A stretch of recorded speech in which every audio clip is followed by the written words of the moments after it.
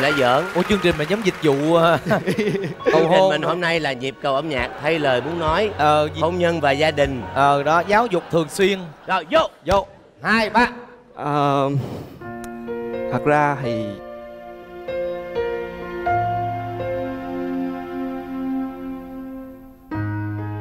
Ờ, thật ra thì kể từ lúc mà anh với em quen nhau thì em hay nói anh là không anh không phải là một cái người lãng mạn.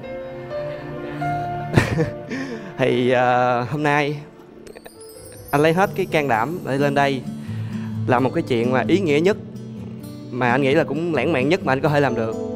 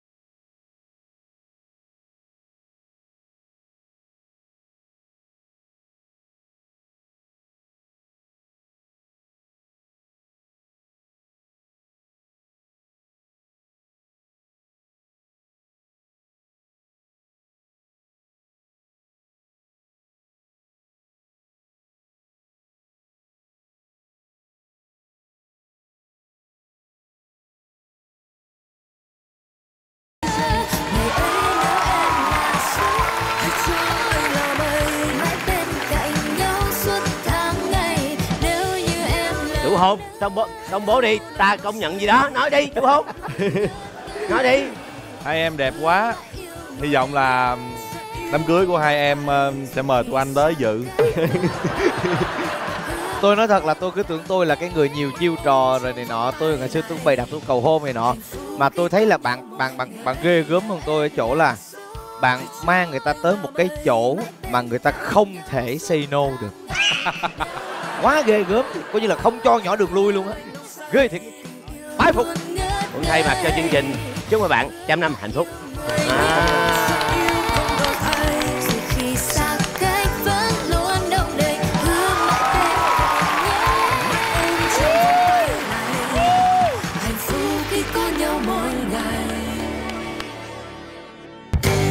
thí sinh tiếp theo xin mời trần lê thư vi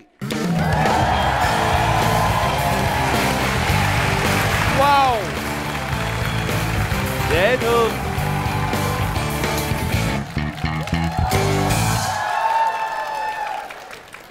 Dạ, con xin chào chú Trân Thành và chú Trường Giang. cho con. Cái đồ này ai mua cho con đẹp vậy? Vô điều khiển hết á. Vô thỏa thuận gì với hai trọng đâu vô hai chị em tập ngồi chờ đi bấm chuông đi chú. Không? À, cái gì chú bấm chuông con ơi con? con đứng sát ra đây cho đỡ tốn thời gian. Gác ở đây đỡ mất thời gian. Rồi con có 60 giây 60 giây bắt đầu.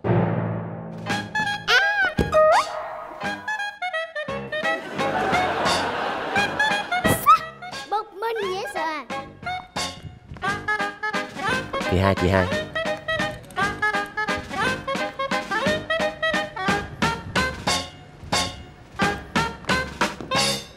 bà bà bà bà bà, tôi có cái chuyện đi vui lắm nè. Hồi sáng tôi đi chơi trượt chân tôi thấy dập mặt luôn mắc cười sao? mắc cười mắc cười không? Vui ghê hì Ủa tôi thấy vui thiệt á. Uống thuốc chưa? Ủa uống thuốc gì? Thuốc tâm thần đó má Ủa tôi đâu giống như bà đâu Bà tưởng ai cũng giống bà hờ. Để tôi kêu Để tôi kêu taxi cho bà về nha. Ừ. Alo Chị taxi hả? Chị taxi Xem một chuyến về Biên Hòa. Đứng đó tại taxi nha. Bye bye.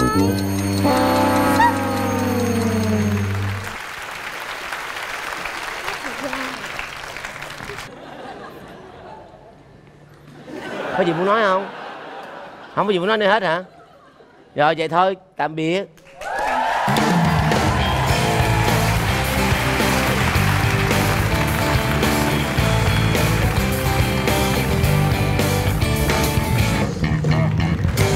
rồi mời thí sinh tiếp theo.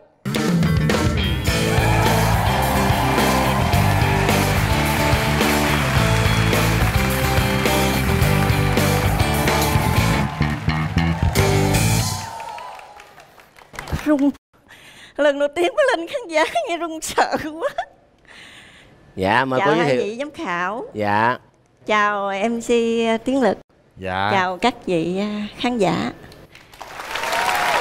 Đi thi mà thấy à, kim loại nhiều quá chắc đâu cần giải thưởng cô hả? Là, không nhiều khi là đạo cụ diễn á. Không À, có hả? lâu lâu á mình mới lên được sân khấu. Mừng quá. Đẹp quá. Thấy mê quá. Mà vàng nhiều vậy chắc giải thưởng đâu cần dân giả không à. Mấy dân thiệt. Cô ơi. Bộ đồ cô ai sắm đẹp vậy? Cô á hả? à, Em cô mới cho tặng cho cô á. Dạ. Là bữa nay may để đặc biệt là đi tham gia chương trình này đó đúng không? Mình mình giới thiệu chút đi cô. Dạ vâng. Thôi để tôi giới thiệu cho. Dạ. À tôi cho cho nó đỡ run. Dạ. Quá. không có cứ thoải mái nha. Có tên gì? À tôi xin giới thiệu đây là lê thị tuyết mai. Dạ. 58 tuổi. Còn đây run quá.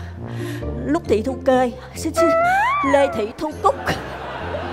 Lúc thì tôi ghê à 56 tuổi. Lúc thì tôi ghê à cô cúc với là cô mai là có gia đình chưa? Có gia đình hết rồi có cháu hết rồi. Dạ vâng. Rồi khi mà mình đi thi như vậy thì gia đình rồi ông xã mọi người có ủng hộ không? À, chắc là cũng không biết. À Tại- dẫu. dẫu mai mốt lên truyền hình hết hồn. Giấu. Đem trăm triệu về xỉu. Là à? nói chuyện này dụ. Cái gì gì cô gì cô? Tại cô dụ nhỏ này á Cô à, ham vui lắm. Cô thích mấy năm rồi mà cô không có biết ờ, đăng ký. Dạ. Nhờ nhỏ cháu đăng ký cái bất ngờ cô được mời á Thì cô à, diễn theo phản xạ Có không nhờ cô đậu. Về cô quýnh quá Cô nhờ nhỏ này cầu cứu rồi về bỏ uổng hai người là quen nhau qua trường hợp hai nào? chị em ruột. À. Đây là thứ năm đây là thứ sáu. Dạ. Không giống nhau. Rồi bắt đầu đi con Không thôi cho xí xí cô à, xin phép một câu. Cô thì yêu văn nghệ Nhưng mà ừm, tiết mục của cô nó dễ thương Nếu mà nó có một chút ừm, mỉm mỉm cho cô ha. Dạ, vâng. có Tại vì- gì là cũng mỉm liền. Ừ, mỉm mỉm cho cô chứ tại vì cô cũng không đặc biệt lắm. Thì cũng phải vui